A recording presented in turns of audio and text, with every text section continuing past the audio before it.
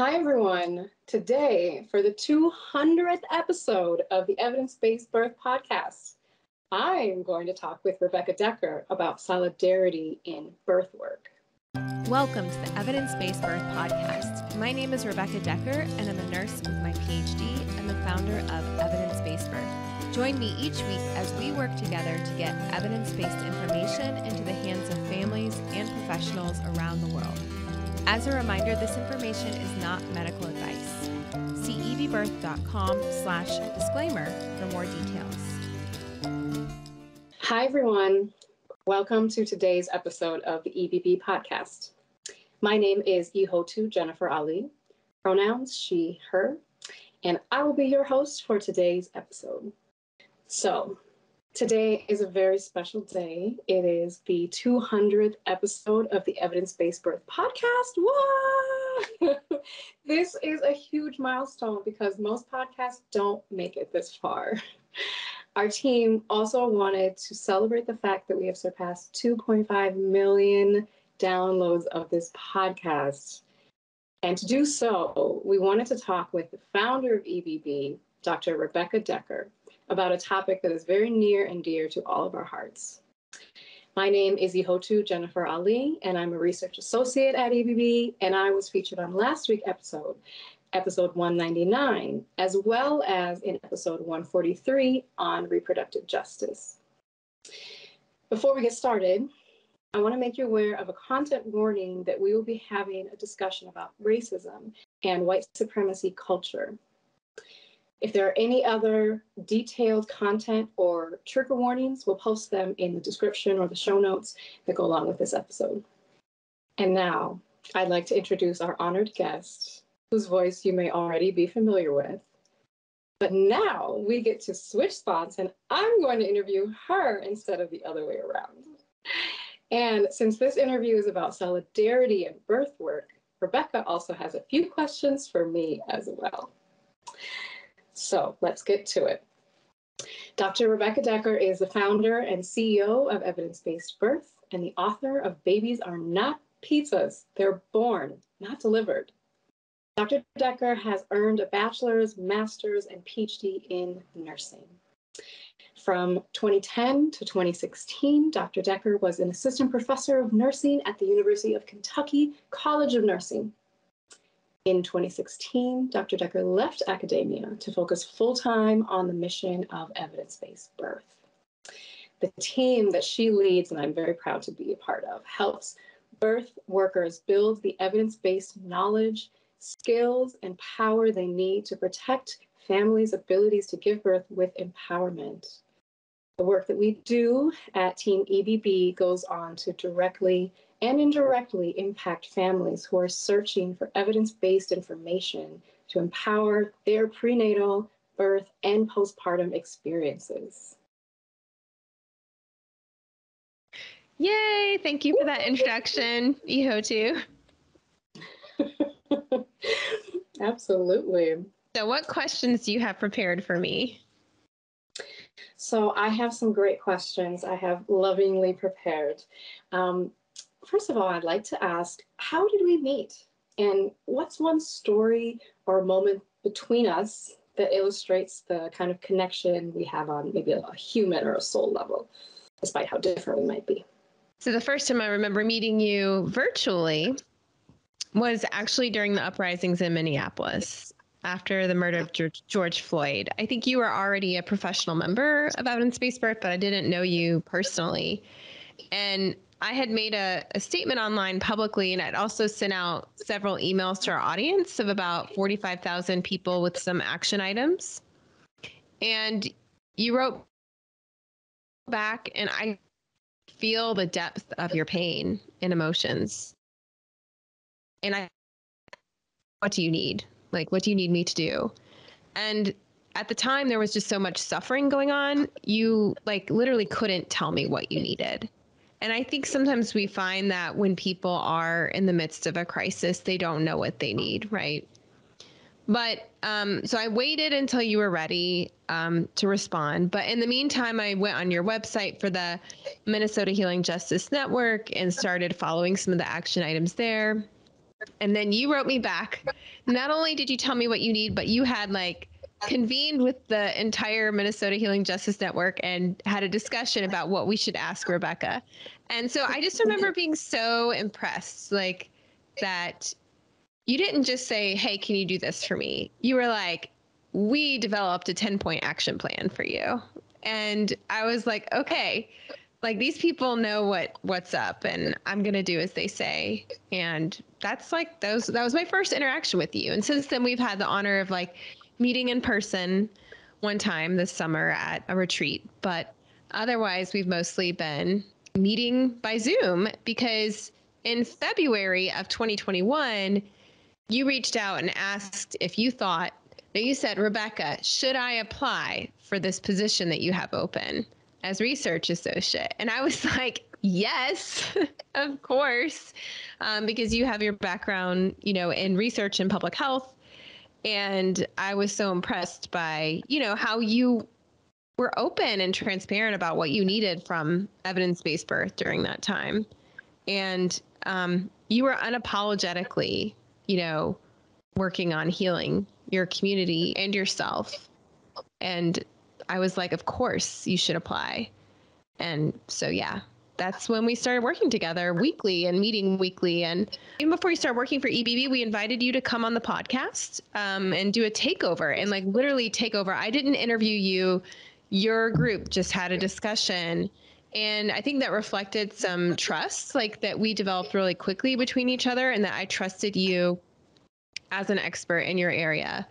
And you trusted me to like you know not traumatize you by by you know you reached out to me you kept the conversation going and so we kind of developed a, a, trust rather quickly that has been growing. I mean it wasn't perfect from the beginning but and it still isn't but i think that there was an element that we knew we could kind of count on each other to be you know who we were that we were genuine people. Right. Does that make sense? right. Absolutely. You brought so many memories back to my, my mind just now, too.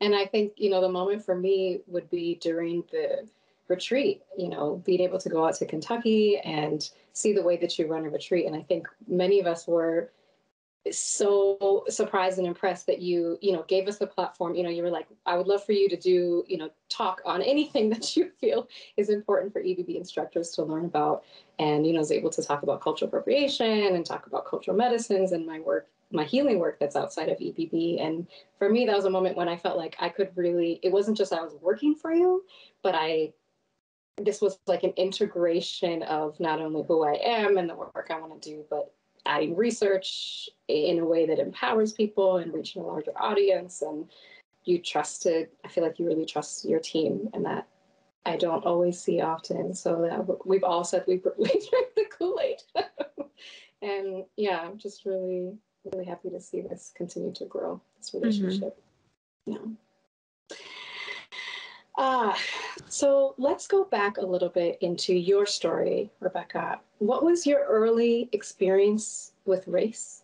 You know, understanding race as a concept and with people of different backgrounds and lifestyles, maybe in your neighborhood or your schools. Yes. So I write about this a little bit in my book, Babies Are Not Pizzas, but I grew up in the suburbs of Memphis, Tennessee, which is a part of the country that has a long racialized history with a lot of violence and a lot of hatred. And there's a lot of sadness there. And when I talk about it, I I'm not really exactly sure what to say because I didn't really understand what was going on there as a child. It was a highly segregated city. You know, Memphis has always been around 80% black, but the suburbs are like, you know, like 90% white. And the concept of white flight to the suburbs and the abandonment of the inner city was like something I witnessed on a regular basis. People, grown ups, talking around me about, oh, that neighborhood's going downhill. Like as soon as a black family moved in, like that was just like normal language that I would hear at my friends' parent, you know, parents' houses. I didn't understand why it was like that. It didn't make sense to me. And I saw the tension and I saw the segregation, but I didn't understand the history. And other than, you know, the basics of the Civil War and the basics of the civil rights movement, there really wasn't anything taught um, in our public schools or private schools about the racialized history of Memphis, including the bombing of black neighborhoods, of um, the terror of Jim Crow and lynching. And it was never explained to me as a child. And in fact, through my whole experience, through all of my degrees of undergraduate and many years of graduate school, I was never educated on any of this stuff. It's something that I had to self educate about starting in my 30s. And so there was that. But in my immediate family, I had um, a family member who was disabled in a wheelchair. And I also had several adopted family members who are of Korean ethnicity. And my mom was always very open in talking about how horrible Jim Crow was um, when she was growing up. So she was white and grew up in Texas. You know, grew up witnessing the segregation on city buses and in schools. And she talked about how unfair it was. She talked about openly about how when she was a nurse in Louisville, Kentucky, in her first nursing job, she remembers when they were forced to hire the first black nurse in this hospital in Louisville and how nobody would talk to that nurse and everybody was, you know, just acting like it was the worst thing ever. And my mom thought that was wrong and she didn't believe that we should treat people differently because of their skin color. So she was always very open and talking with me about those things as a child, but I still think there still was like a lack of depth of understanding. I know my father, when he was in the Air Force, he actually flew troops to Mississippi to desegregate the university there. So my parents were very much like alive during the desegregation. You know, they were young adults raising their children um, before I was born. And I came along later in the 1980s where this stuff was recent enough that it was obviously influencing everyday life in Memphis, but it wasn't in any history books and nobody was talking about what had happened or making any kind of reparations. So that's kind of the background of how I grew up.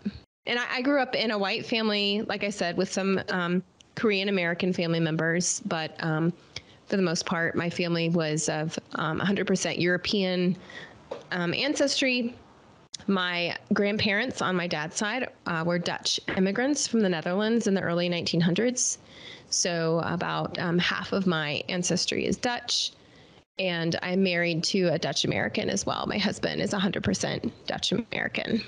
And I remember at the EBB instructor retreat, you saying that you had a family member who had disabilities. And I have a sister with disabilities as well. And I just remember that being like this connection between us. Mm-hmm. And you also, I remember you also said something about having Dutch ancestry and something about Dutch culture that really stuck with me. And I asked you to share it in the retreat, and I'm going to ask you to share it here again. you want me to talk about that? Yeah. so, one of the things I have found is that a lot of white people in America don't, they think they don't have a quote culture, like, or an ethnicity. Um, and that's part of the lie of white supremacy and the dominant culture is that you think you're the norm and everything else is ethnic or cultural, but you're just the norm, like because you're dominant. And you don't actually start to dissect like what makes up your culture. So I did a few years ago start making this and you you were going to ask me about this later on I know but I'll go ahead and bring it up this bullet point list of aspects of white culture, my list. It's literally just a Word document on my desktop that's called Aspects of White Culture, my list. And I started bullet point listing things that I knew that were like cultural norms in my white community growing up and still today. And then as I went on, I started thinking more and more about uh, my ancestry. And a lot of this is from my relationship with you. And a lot of um, African Americans and Black people that I have worked with are, you know, they talk a lot about their ancestors. And I hadn't really thought about it that much, even though I have like an ancestry.com account and I have to kind of trace some things. But, you know, Dutch culture in particular, that's like half my my family. And my grandparents came to America as immigrants. I'm a granddaughter of immigrants. My grandmother came with her parents when she was an infant. And my grandfather came alone as a teenager when he was only like 18 or 19 years old. He left behind his entire family and came by himself. And I only met them a few times. I don't remember a whole lot about my Dutch grandparents because they were in their 80s when I was born and they died um, when I was a small child. So a lot of what I learned about my Dutch ancestry like comes from like family lore, like stories written by my dad and his twin brother. And one of the things I learned about Dutch culture, and a lot of people talk about my grandfather, how he was an extremely opinionated man who liked to share his opinions with just about anyone, sometimes in a very forceful manner. That's a direct quote from my uncle. And that was passed on, even though I didn't have a relationship with my grandfather. My siblings and I started exhibiting some of those same characteristics as children. We were never afraid to share our opinions with the adults in the family. And we could all be quite stubborn and strong willed, just like my grandfather.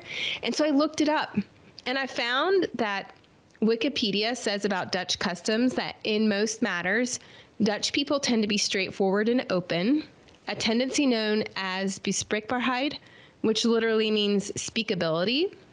And then I found another article that says what non Dutch people think is rude or blunt, the Dutch perceive as honesty and truth. They pride themselves in having and expressing an opinion. They consider American, quote, politeness as a form of weakness and hypocrisy.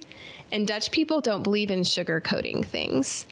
And I just laughed because I don't know if you've been watching Ted Lasso. This um, it's a very popular show on Apple right now about an American coach who goes to England and coaches a football team there. Um, but they have a Dutch player on the football team, and it's kind of this running joke all season that he just says like the most blunt things, and everybody looks at him like he's so rude, and they're just like, oh, he's Dutch, like he's just like saying what he thinks. So I thought that was like interesting that like you know this was an aspect of my culture that somehow seeped down into me and my siblings even though we weren't didn't have a lot of exposure to our grandparents. And it's just like an example of how culture can persist through generations even when you don't know that that's what's happening. And i think it's a benefit. Like i can lean on that dutch tendency of mine to not be afraid to speak the truth. And um, that's a, a difference between me and a lot of my friends in social group and I mean, even when I worked in academia, people were like, Do you remember that one time Rebecca, like, in front of the whole research team, like, let everybody know, like, what they were, you know, how they were harming someone? And I'm like, Yeah, like, if I see something wrong, I'm going to speak up. Like, that's just, but then that's so funny that my grandparents did that because I didn't really know them. So, yeah. Well, that's uh, that was a key moment when I learned that about you that I started to trust you more. Because as someone who lived in New York for a decade and is used to kind of straight talking New Yorkers, but then also I'm originally from Minnesota and moved back here, you know, about five six years ago, the kind of racism that often shows up here is that people will be nice to your face, this kind of very um, Scandinavian, Lutheran Christian, very conservative culture will be nice, or they, they talk about Minnesota nice as being very polite, but you never invite someone over for dinner. You never, you know, hang out with them outside of the workplace, or, you know, you'll be polite, but you won't actually be kind or compassionate or empathetic, and you won't be direct. And so you might think you have a friend, and then you realize they're not actually your friend. And so I always really value people who are very direct, especially when it's someone who's, you know, European ancestry and white in these days. And when I was like, oh, Rebecca just tells it how it is. And then everything that you're saying, I can really trust and I can relax into that. Um, That's cool. it's one benefit, I guess, of, you know, my culture. There's there's also ne- many many negative things, but it's something that I think it's important for everybody to like think about how you grew up, what you've inherited from your ancestors, whether you realized it or not, you know, in the past, and and lean into what works for you, and then decide what you're going to reject and what like patterns you're going to stop. So, yeah. Absolutely. Like you could use that straight talkingness to call out things that are justice issues, or could you you could use it to just be a mean person. You could, you could use it, and I have exactly, and I did have some of my great relatives I know, for example, a great aunt who died many, many years ago who was known for just being really mean. So, like, it can be used for harm as well. That's true. So, I'd love to look more, peek into your white culture list. Would you be willing to share a few examples with us? Sure. Okay. So, I have to say that my white culture list um, also, I think if you're going to make up your own list, if you're listening to this and you're of any culture, I think it's always eye opening to examine your own culture. But I think it's important to remember that class also like has an influence on any white culture list. So I grew up what I would consider upper middle class. And so there's going to be differences on there from people who grew up in other classes. But my upper middle class white community that I grew up in valued timeliness also being polished and professional, only allowing proper English grammar and vocabulary. Asking what do you do for a living or what do you do for work is an emphasis on your value in society is based on what you do for a living. Um, and also finding out the status of, of who you're talking with, like to find out if they're on your status or if they're higher or lower than you. Only speaking English and complaining when people don't speak English I think it's interesting that in my culture, um, my community, a lot of people complain about having to get together with families you don't like. It's like you complain about having to get together with extended family. There's a lot of either or thinking, a lot of us versus them thinking, a big emphasis on being polite and nice. And um, you mentioned that in Minnesota, that was definitely something in the South. Although I think in the South, there's a little bit more, I think, genuine friendliness, but you definitely need to be a quote, like good girl. Like you need to be polite as possible, avoiding confrontation, but then holding grudges, even after someone's apologized, believing that you should pull yourself up by the bootstraps. And there's an emphasis on individualism, which is very much a white supremacy culture um, concept. Um, another thing that comes along with the privilege of being white is, and especially being white and middle class or upper middle class or upper class, is like feeling like you deserve the best in everything and that your children deserve the best in everything. And because of that, you want to talk to the manager. I mean, this is like the classic Karen thing that we see on all these videos that go viral. Like, you know, like just believing that you're the best and you deserve the best and you're going to knock people other down on your way up. Um, and then one of the things that I see a lot, especially for white women, is they interrupt each other a lot um, to make sure their voice is heard. Or on the other hand, they might stay quiet in meetings because their opinion is already being voiced by other people who look like them. And so you have like the luxury of being quiet or introverted if you want to. And the same thing, I see that on social media all the time that white women really have difficulty listening to people of color and instead they want to jump in and they always have to make their opinion heard. So it's always having to have the last word. And a lot of that, again, goes with that privilege of feeling like you deserve more because you're better and superior. Goes back to white supremacy. Um, other funny things like include like um, having difficulty letting go at a dance or a party unless alcohol is being ingested. I'll never forget like going to the Caribbean with Dan on our honeymoon, and we were on this boat ride uh, with all these Dominican guys who were like leading this boat tour, and they were trying to get all the white Americans to loosen up and like dance and like move and chill and like none of them could do that until they started drinking and then finally they were able to like let go so yeah, that I mean, there and there's more. It goes on and on. Uh, Do you have any there that re- relate to like pregnancy or childbirth or raising children? You should wait until marriage to have children. And also, I was raised with the belief that you should preferably wait until marriage to have sex as well. Girls should play with dolls, and boys play with trucks, cars, and action figures. Like the importance of privacy, so children should have their own bedroom with it's the woman's responsibility to plan for contraception. And you shouldn't have too many children too close together or when you're too young. And for example, if an 18 year old had a baby, um, then got pregnant again one year later, um, a white woman from my middle class group would probably think that's a travesty because it will make her life too difficult. So there's a lot of judgment around um, the timing and spacing of children, if that makes sense which I know, I think I've talked with you about it, how in other cultures it's considered a blessing. And it's really interesting to see like that white women in particular hold these like really strong judgments about the reproductive choices of other groups and other people. We have a lot of judgment on each other about pregnancy and childbirth and who should have babies and and again it goes back to that feeling of being superior than others and making you feel like you're superior. I know this is this may be hard to listen to for some people because I'm just I'm being I'm doing the blunt talk right now. Like this is like there's a lot of negative stuff on my list. There's a few positive things, but most of what I've just read to you has been pretty negative, I think, and harmful to other cultures. And this is what I hope is kind of the another phase of solidarity and justice work.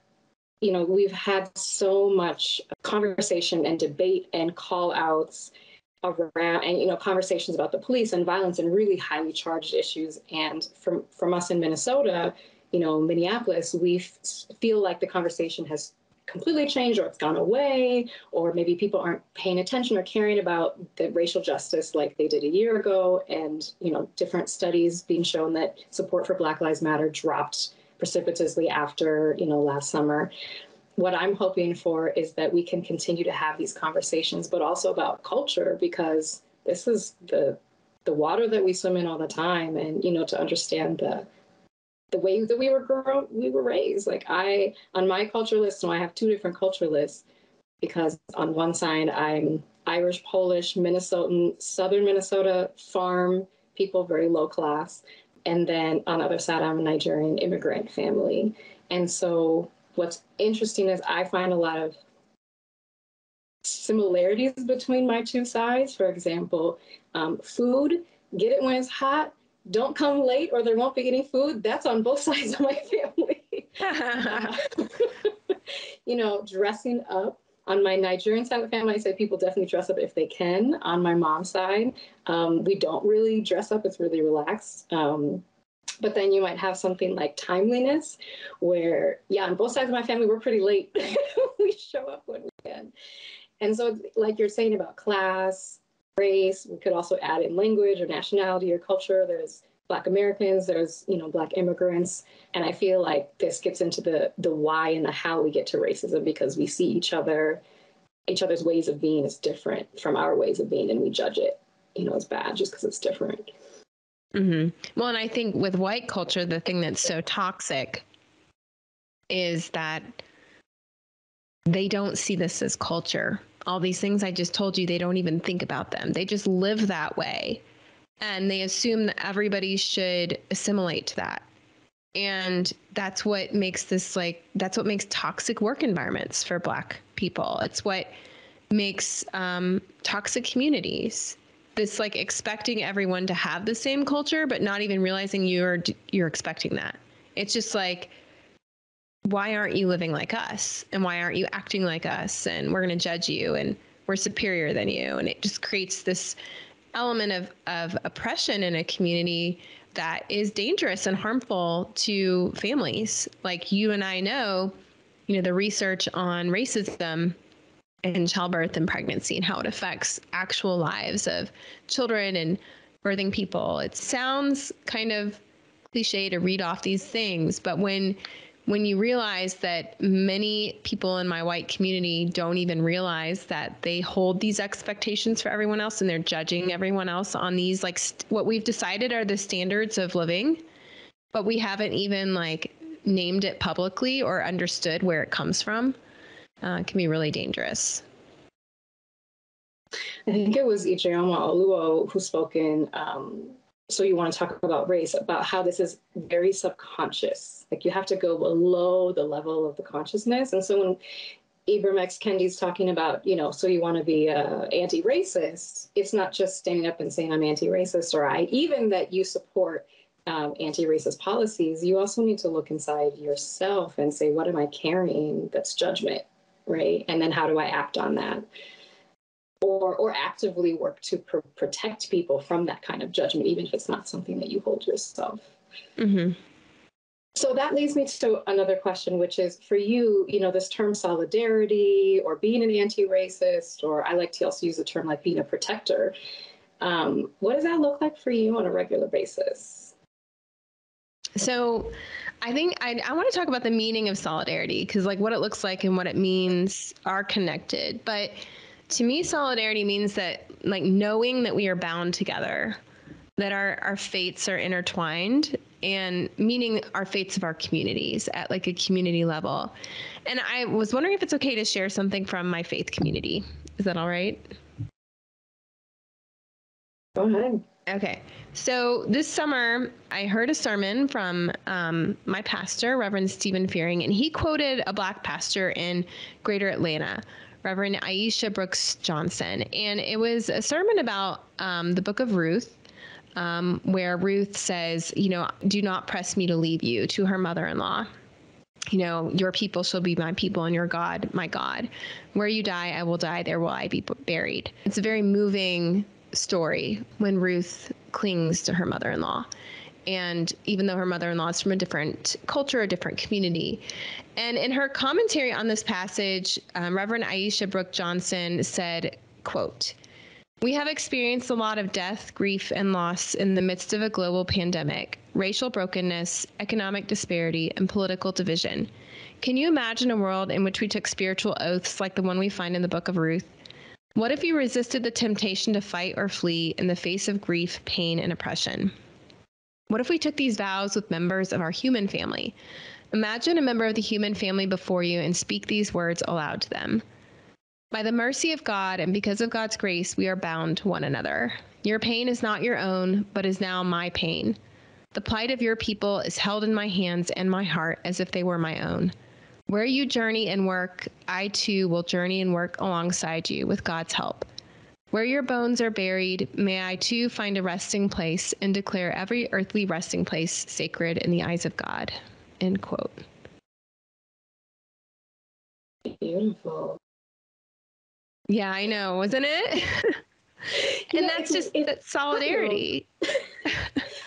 So I was actually talking with a friend. So in the Minnesota Healing Justice Network, and also in my other work, the Oshun Center for Intercultural Healing, we have solidarity members, right, who've come on to like support us for the long haul. And I was just talking with one of them the other day, and we were trying to think of words to describe. So you have a you have a biological family, and people as birth workers, like we care so much about our family. But this idea of, and I was using the term soul family, but in this quote, it talks about a human family, and it it just makes me think about like the people we're supposed to walk in this world with, who might come from whatever background, whatever lifestyle, but like we're supposed to find them and walk with them, and they may not be biologically related to us, but there's a there's, there's a, a connection. connection.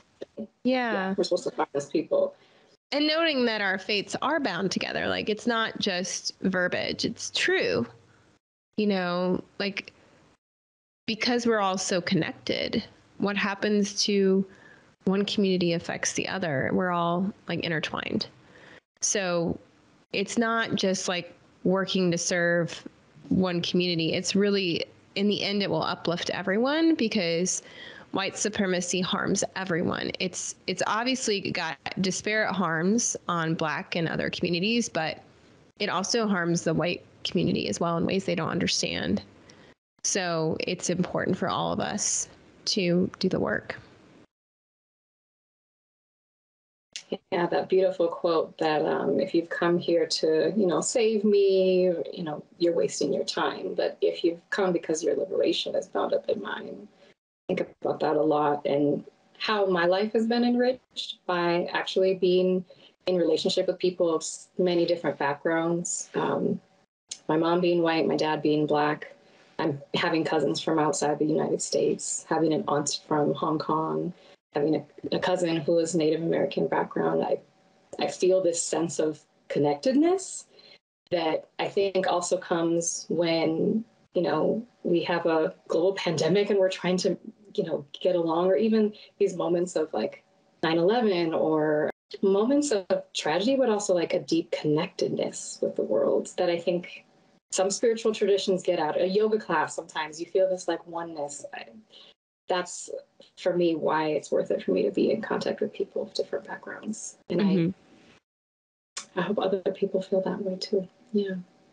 Well, can you say, but it is, it can be challenging. So do you feel like there's ebbs and flows or you know in your how do you manage your capacity for because i, I think there's this, this sense that okay well if i'm a white body person i have to just do more or give more. And what if i have a family and busyness and work and you know life's not easy for me. I'm a woman or i'm queer. How do you manage that sense of like expectation versus this sense of just connectedness but also the reality of needing to have action around mm-hmm. your sense of connectedness I think it's important to keep in mind like two aspects of white supremacy culture, which I've learned a lot about from the writings of Tema Okun. If you just Google aspects of white supremacy culture, you'll find his writings. And he talks about how a sense of urgency and perfectionism are aspects of, of white supremacy culture, which I don't think most white people realize. And that because they think that's normal. They think it it is what you're supposed to do. They don't realize that other cultures don't necessarily practice that. Like first of all, when you were saying like, don't you feel like you have to get it all done? Like, no, you can't. Like, I can't be perfect, and I have to get rid of that expectation. But um, and I can't. It can't be urgent. It's not like in one year you're going to become a perfect anti-racist. Like, if I was enmeshed in a white supremacist culture for the first 30 or so years of my life before I even realized it. Like I have a lot of unlearning to do it's something that you're going to be doing the rest of your life. So that helps take the pressure off, I think, knowing that it's a lifelong journey, not like something you ha- you're going to fix about yourself because it's never going to be truly fixed. And I follow my passions and and, and learning about anti-racism and social justice and I find things that interest me and then I, I work on them for a while. I pick one or two things and I just prioritize it. So for example, reading. I love to read for pleasure, but I also have a goal that every month I'm working on a new book, like related to social justice and oppression. And it's just like I always have one on my nightstand. And I have for like the past, I don't know, five or six years. It's just, it never goes away. There's always another book there because the learning never stops. But I don't feel an urgency like I have to get it all done by a certain time. I think that's huge. I know a lot of people who've just kind of stopped because they feel like it's so much work and they just can't do it and they can't do it perfectly. And so they don't do it at all. And one thing I remember being impressed and surprised about starting to work with you, Rebecca, was um, little things like you mentioned from the beginning that we don't, we try not to at EBB practice perfectionism and not to practice urgency and open dialogue. And we you know like uh, a, feel like there was something around embracing conflict you know that i felt like this was a space where i could really show up without the you know before we even we didn't even have to say it but you walk into a workspace and you assume you know that there's going to be certain things that are required of you. And you were like no. This is going to be more of a relaxed space. And everybody were like i want you to meet each other. I want you to know each other's birthdays. You asked about do I have any children or cats or things that people should know about me. I felt like it was more of an environment like when you're in family rather than when you're in a professional environment because a professional environment now you have to zip up your coat and become someone that might not be authentic and I feel like that's how white cult, white supremacy culture hurts all of us right mm-hmm. because none of us get to be authentically who we are we have to play the role and be inside the box and kind of compete with each other rather than just be, being collaborators and being open. I think every single team member at EBB has had a moment where they screwed up, like in the first three to six months of working for EBB, and had like this, oh shit, like Rebecca's gonna fire me, like moment. And then I'm just like, oh, it's okay. Like we all make mistakes. Like no big deal and they're just like what? I thought they were gonna you know i thought i was gonna get fired. Like it's just like no listen like nobody's perfect. And obviously like if there's patterns of of difficulty like that's one thing but just one making one mistake like that's how we learn. And you know that is very different than most workplace cultures. So i've tried to be really intentional to make a list of all the things that are toxic about most workplaces and are rooted in white supremacy and try to fish them out. And I'm not perfect. I'm sure there's still some there, but I'm working on it. Yeah, I love that. I experience it. I'm grateful for it. because when I started working for you, I had PTSD really bad and you were very patient. and I think most most of my most of the team members have told me that they have PTSD from past jobs. Like it is really interesting being a boss, which is never something I ever thought I would be, like a business owner and a boss. Like 10 years ago, I could have never dreamed that.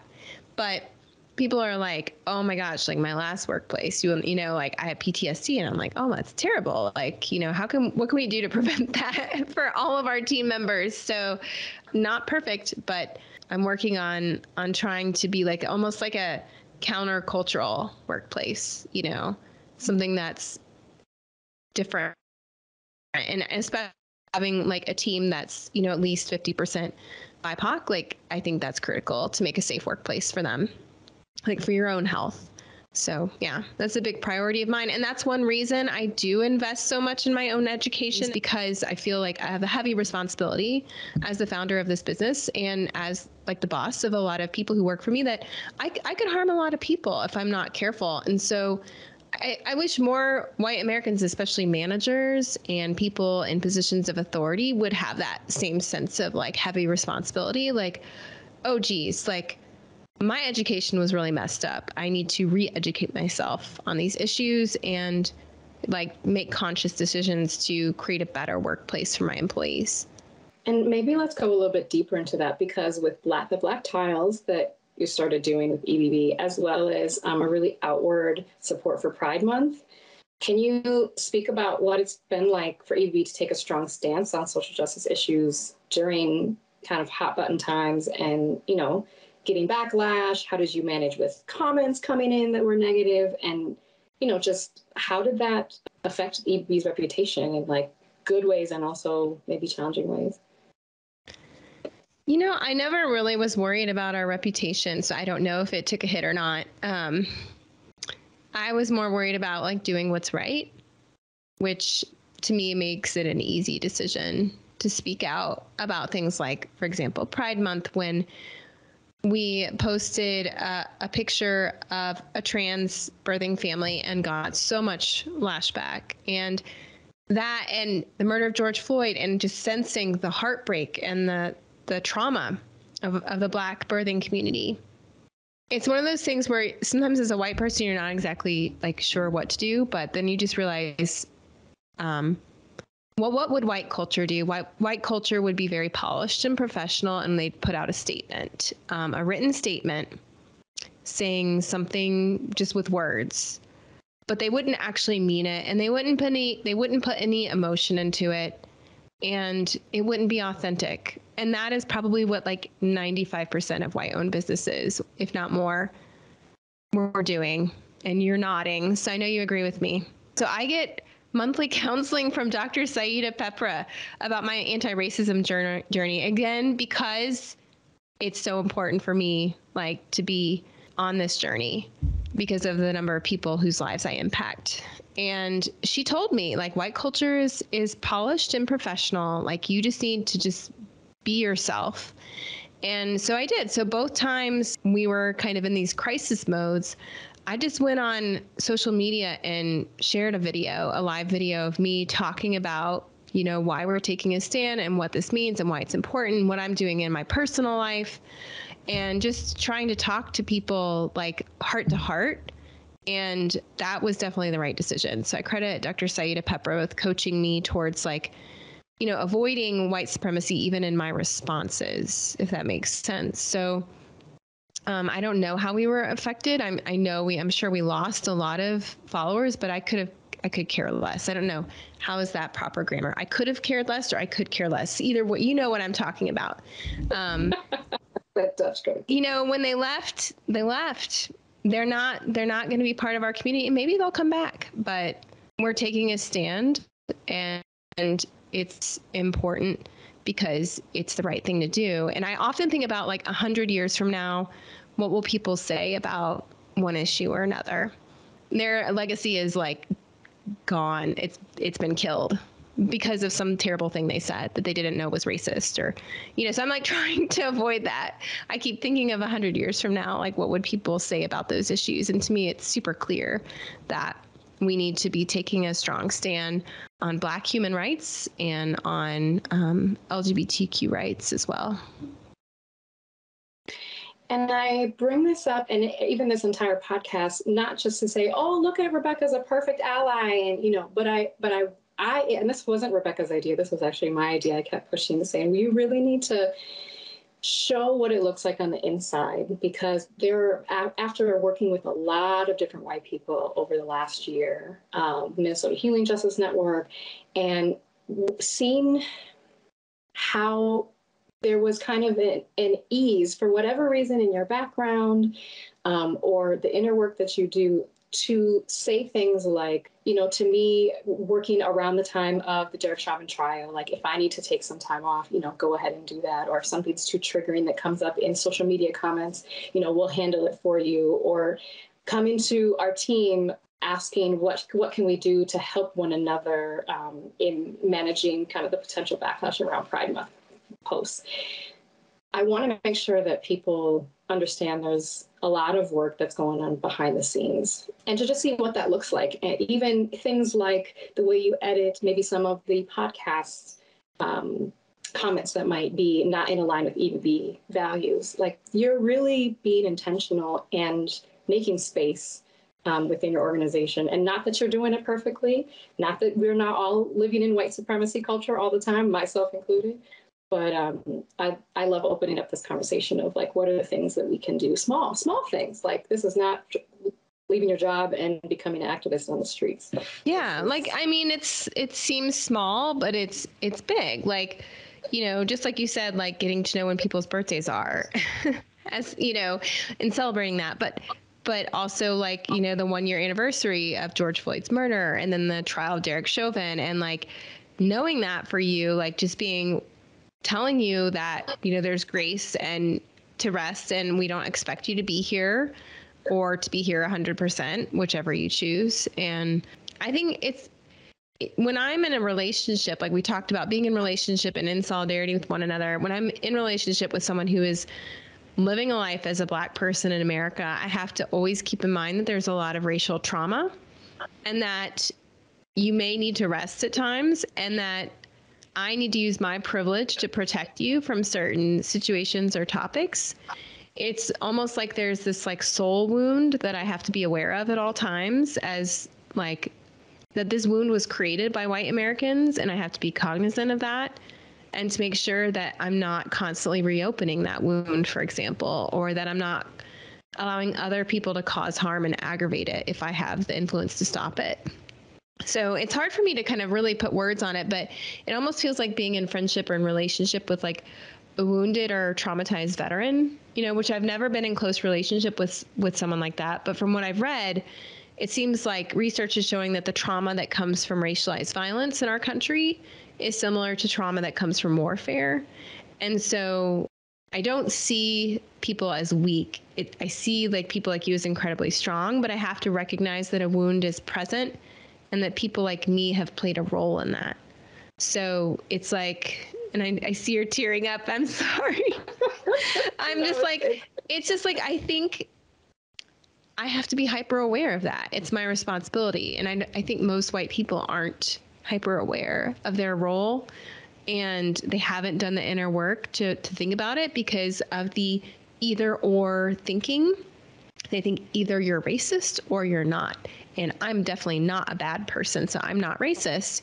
And so they don't even start the inner work of realizing what they're doing that is causing harm. Lots of little things that we white women in particular do that cause harm all the time. So, yeah. When we talked a lot about at our retreat about protection and you know the difference between protection versus being a white savior and I'm not perfect at distinguishing between that, but so, one of the things I've read a lot about is how black women and girls in particular in America are not considered worthy of protection by many white people. And that is something that needs to change. So, I want to be part of that change. So, yes, I'm crying over here. When you say, yeah, soul wound, that definitely resonates. Um, warfare, I've never heard of that that comparison, but especially after coming out of the uprisings. And, you know, for many of us, Minnesota Healing Justice Network, it was blocks. It was we smelt the fire. It was we um, couldn't open our our doors, or we had barricaded our doors and spent nights watching the unicorn riots um, and hearing of reports of the KKK, and it very truly viscerally felt like war. And for myself, having previously worked in the United Nations and the Democratic Republic of Congo, where there was active war, for me, the PTSD came because I had been in war. And this again felt exactly like war. And I'll say on a cellular level, because I'm mixed race, I have white DNA, I have black DNA, and how the two sides felt truly. I mean, you see the line of the protesters and you see the line of the police, right? Mm-hmm. It felt so much like war. And so I do, at least for myself and probably many others, it, it feels like a constant battle and a constant sense of not finding safety. And so to be able to find a few people in that, I would say you're in my soul family, Rebecca, that you can, you know, start to find place where you can find ease is really healing. I know it can be hard to get to a place where you can trust to find that, but um, I'm grateful to to be on this journey of trying to find that place with you. And I think that the idea of protection, you know, it's not just protecting like a child who can't fend for themselves, like we're right. obviously can fend for ourselves plenty. But there are certain instances where, to be honest, all of us want to be protected by each other. You know, that's something we can all do for each other. And I feel like for the white people in my life, why I started teaching so much more in cultural medicines is because I saw a lot of white people falling into the urgency, falling into the perfectionism, falling into, you know, being on time is more important than bringing your presence um, and feeling grounded. And so I really feel like my ancestors, my my especially my Nigerian side of the family, has a really good ability to kind of stay happy through happy and relaxed through even a global pandemic. And i feel like that's something that i offer to white people in my circles as well as like there is a deeper part of your culture. Go back to european before um, capitalism, before the witch trials, right? You, if you identify as a woman, there's this sense of cultural groundedness and like returning to your soul that I think a lot of people who have really bought into capitalism, you have to kind of lose some of that culture and that soul. So mm-hmm. that's what I'm hoping to bring back as like a mutual exchange so that yeah, I I've learned so much from you, Ihotu. Yeah, I've learned so much, and oh, you know, one gift you've given me at the retreat, you know, aside from your your amazing um, presentation and meditation you did with everybody, was just you know teaching me that you know birth workers are healers and nurses are healers. And you know you've educated me a lot about the history of healers and different healing traditions. And that's something that you know white supremacy and colonization took away from um, from uh, in particular females um, was that we were not considered healers. We were turned into assistants and you know the doctor's handmaiden kind of thing and not actually like healers with the power of healing touch. And and so that was really you know you've you've educated me on a lot of subjects but that's one that recently really touched me was like kind of claiming that identity as like i'm a nurse but i'm part of a deeper healing tradition that was kind of taken away that title and i'm going to reclaim it. So thank you for that. Thank you you're welcome yes, as birth workers, you know, and I want to say too, whether or not, however you identify gender wise, I mean, like digging into that place where you're a nurturer, you're a lover, that's in all of us. And from that soul place, doing our work. I think like going to that subconscious level below the money we're trying to make and the business we're trying to run and the reputation, right? Like dropping beneath that work and reputation and status part of ourselves, that's where we find the ability to connect across all kinds of backgrounds, no matter how we were raised, if we're familiar with people or not, how to do the work to be safe for each other. Yeah, and I think, you know, there's endless amounts of oppression. And I don't want to get into the oppression Olympics where we're comparing different kinds of oppression, but I'm you know, as someone who is focused on solidarity, I have to keep working on heterosexism um, and classism and ableism and other forms of forms of isms. And I'm reading this book. It's called uh, Readings for Diversity and Social Justice. It's a textbook that was edited by Maurianne Adams, Warren Blumenfeld, Carmelita Rosie Castaneda, Heather Hackman, Madeline Peters, and Ximena Zuniga. And Dan, my husband, and I have been reading this. It is, you know, um, I don't know, like 700 pages long, but it is the most incredible. Yeah, it, it's the most incredible book I've ever read, and I feel like it's teaching me everything that like I was not taught in school and graduate school, and I'm getting like this huge education from these authors who've compiled this like work of art just about all of the different kinds of oppression.